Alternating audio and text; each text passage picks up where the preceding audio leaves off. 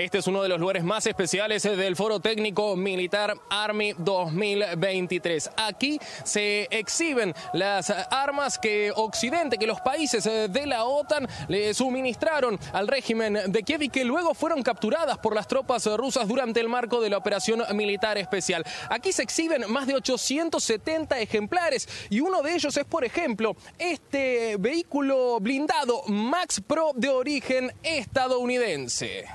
Estos son los denominados trofeos de guerra. Con este tipo de maquinaria, las tropas del régimen de Kiev cometieron atrocidades y ataques contra la población eh, civil. En este caso, estamos mostrando aquí esta maquinaria de origen británico, una de las que más se puede encontrar en esta muestra. Muchos de los vehículos que se encuentran aquí permanecen en perfecto estado, dado que fueron abandonados por las tropas ucranianas en pleno campo de batalla sin ofrecer resistencia, como este que vemos aquí de origen francés, mientras hay otros que no corrieron la misma suerte, como aquel de transporte de personal de origen australiano.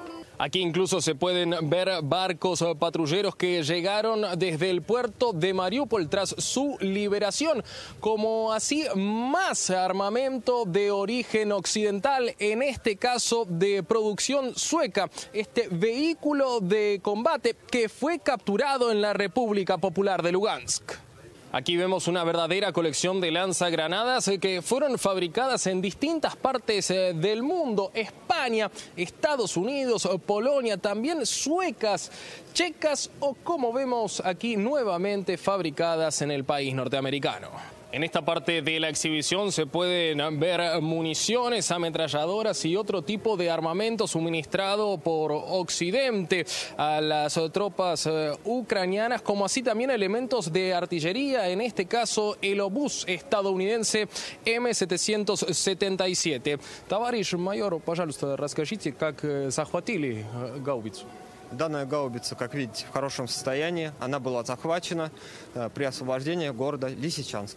Aquí en este rincón vemos una gran cantidad de vehículos aéreos no tripulados que lucen como si recién hubieran salido de fábrica y esto se da así gracias al trabajo de los equipos de la llamada guerra radioelectrónica. Esta exhibición es una clara muestra de cómo los equipos occidentales ampliamente publicitados, según sostuvo el propio ministro de Defensa, Sergei Shoigu, están lejos de ser perfectos en combate. Martín Álvarez, RT, provincia de Moscú.